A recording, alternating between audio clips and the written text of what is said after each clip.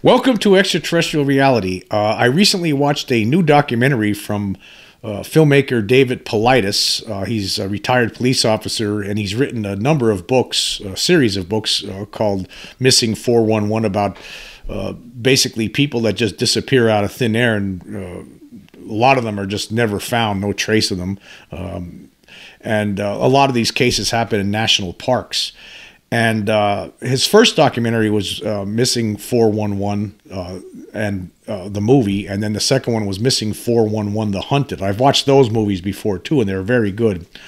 And uh, now the third one, which was just released, and you could get it on streaming video uh, on places like Amazon or um, Vudu. And it's called Missing 411 The UFO Connection and it talks about different cases uh, that have happened over the years uh, with uh, people who have disappeared, mostly hunters, basically, basically who have disappeared without a trace, uh, and and it seems like uh, they're possibly taken away by UFOs. Uh, re- there's really there's no trace of them whatsoever left. I mean, it's just amazing stuff and scary, very frightening. Uh, and it goes over a lot of different cases. And uh, one of the cases actually was was involved a hunter who had disappeared, uh, and and but was, was returned. And it was a case that happened in 1974 uh, to a guy named Carl Higdon. Uh, he was uh, an oil driller. and he lived in Wyoming, and he went hunting the one afternoon in Medicine Bow National Park in Wyoming and uh, was about 40 miles away from his home. And he went hunting and, and he was and he came upon like five elk. Uh, just they were just motionless basically. So he he had his rifle and he was he was about to shoot one of them. And when the bullet came out, it came out like in slow motion and just bounced off the bounced off some invisible force and just landed there. Didn't hit any of the elk. And then they no- he noticed uh, like a, a strange be- a six foot tall humanoid being looked very strange. And also uh, he saw a strange like see-through craft like shaped like a cube.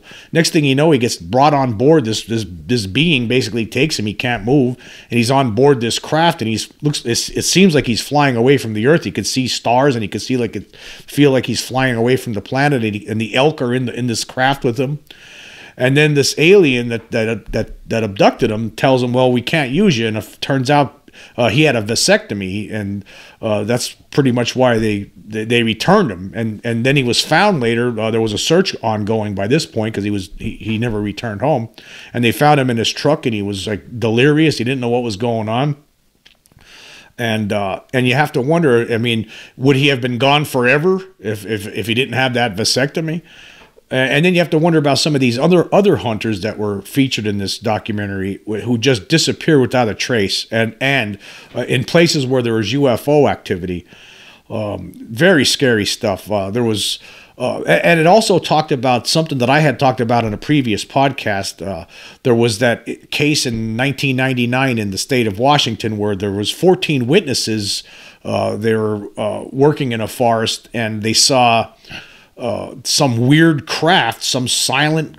It was a smallish looking craft, a very strange shape, and it came. It came. It, it hovered over a, over some elk, and it went to this one lone elk, and it just the elk froze in place, and then this thing lifted it up off the ground and just flew away with it.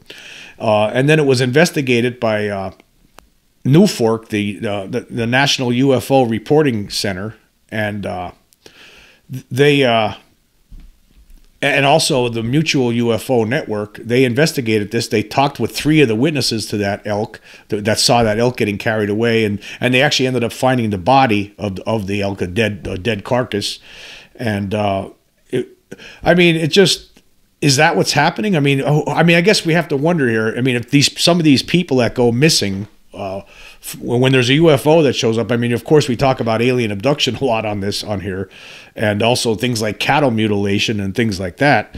Uh, and then I guess sometimes there's some people who you, there's also been cases, alleged cases of, of uh, human mutilation, uh, which uh, seem to be covered up pretty well uh, when they do happen. Uh, I know of a couple of cases. I've heard of a couple of cases. I've read about a couple of different cases with regard to that, like two or three different cases. Uh, so there's cases of that, but th- these cases here involving these people, they just completely disappeared, and who knows what happened to them. Um, were they killed by the aliens? If it wa- if it was aliens, were they killed? Were they mutilated like the cattle and they got rid of the bodies uh, somewhere? Uh, or were they taken away like this Carl Higdon in 1974 uh, in Wyoming? Like he was almost taken away from the planet all the way, you know, forever. I mean, you have to wonder if some of these guys are actually still alive somewhere, maybe on another world somewhere. You know, you know how are they treated? Are, are they are, are they like a, a, a, specimen for these aliens, or I mean, how are they using them? Uh, so I, who knows? But again, this documentary is fascinating. Uh, another interesting thing about this documentary was there was a retired FBI agent. Uh, his name was uh, uh, John DeSouza, and he was talking about like he had, when he was uh, with the FBI, he there were different missing persons cases that were really strange, and he actually believes that there are uh, uh, some sort of uh, uh, beings out there or interdimensional beings that uh, that come into our reality and somehow just take people away, just they disappear and they're never found again. And it's always very strange circumstance. He was talking about a little kid standing you know right next to their parents in the woods somewhere. And then they see the kid five seconds later the kid's disappeared gone forever. And they, there's no trace of the kid or you know that there's things like that that have happened over the years. Uh, so you have to wonder well what's going on here and wh- where where where are these uh, people taken um, so I, I, highly recommend this documentary. This guy has he, he, does a really he did a really good job with it. So it's it's highly recommended.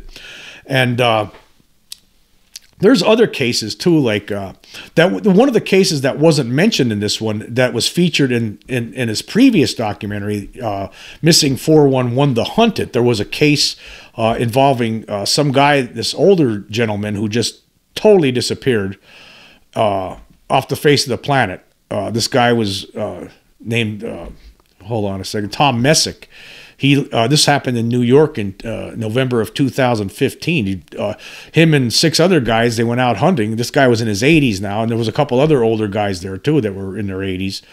Uh, and he was basically just you know not that far off this off this road where all these guys were uh, you know they were all sitting in certain spots while these other well those uh, these other guys were went uh, to a top of a hill where and are going to try to chase the deer toward them uh, there, they never saw there was no animals in this area. There was not. They didn't even see any birds. But anyway, when it was time to go home, this guy was gone. He totally disappeared. And There was a gigantic search, and they never they didn't find a trace of him.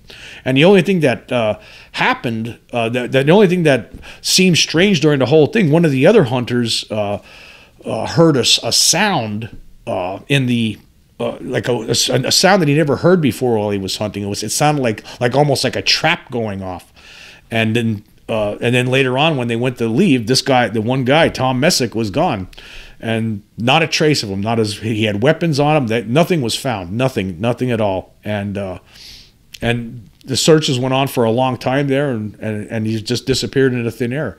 Now this case wasn't mentioned during this uh, documentary, uh, but I mean during the new documentary about the UFO connection. But I think that that could have been something like that too. I mean I mean, how could you just disappear in into thin air like that? I mean, you're you're around other people, you're in the woods. I mean, there, you think there would be some trace?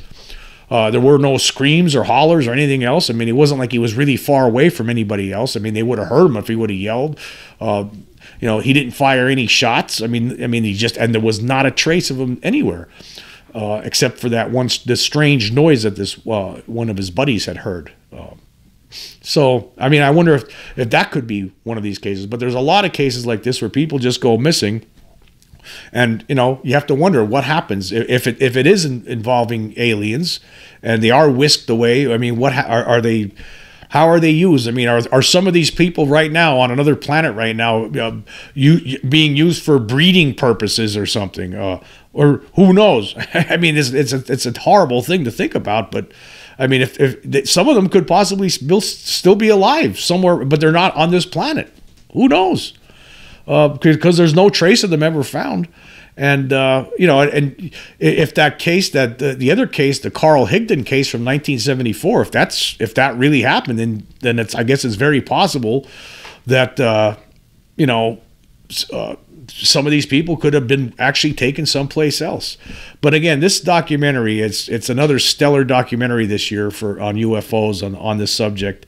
Of course, there's no uh, you know, I, I, you know the the littlest. This is only a tiny spoiler, but I guess you know there's no answer right? I mean, there's no answer. There's some spe- a lot of speculation, but there's really no answers. So that's the only you, you know when you get to the end of it, you you, you know there, there's you're you, all, all you're left with is is speculation because there you know there's no trace of these people and. Uh, uh, you know, I just found it fascinating. And actually, if you wanted to see what the other two two uh, films, you could actually watch them for free right now, I believe, on YouTube. Yes, uh, Missing Four One One, the movie, and then Missing Four One One, The Hunted. They're actually available right now on YouTube, and I would uh, I'll leave the links for them uh, so you could check those out because they're they're really interesting too.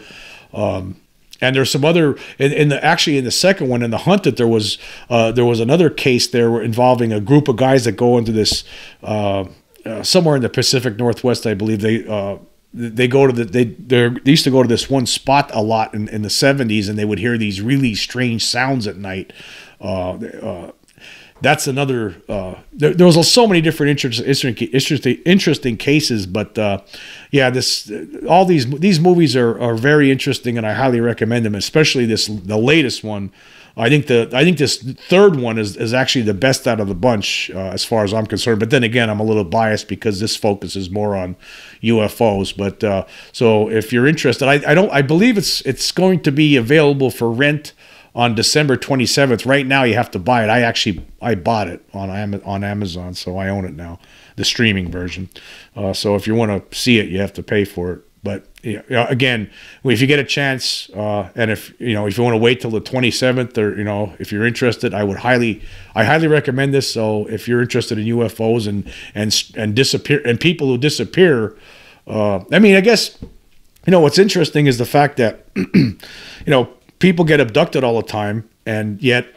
Um, it's we don't never I don't really talk about you know people who just absolutely vanish off the face of the earth. I mean, sometimes these abductions are more than just abductions; they're you know permanent abductions, and it's a really scary scary thought. I mean, if you're out in the woods and there you know and so one of these things shows up. Uh, you're you could you're finished. I mean, you could be done. You have no chance. There was actually, a, a, speaking of that movie, there was another case where these two hunters were uh, out in the out you know in the woods. They were camping out hunting at night, and this gigantic triangular shaped UFO showed up. Uh, and uh, they believed that if the one guy, if if if it hadn't been just the two, if if the, if if only one of them had been there, uh, they believed that one of them might have been taken by this thing, but because there was uh, two people at the same time, one was in one was standing in one area and another guy was in another area, and if, if it would have just been one, that would uh, it would have been a perfect opportunity for this thing to steal that guy to kidnap one of them, but because there was two of them, I don't know. I mean, who knows? But uh, yeah, you got to check this movie out. It was it was fantastic.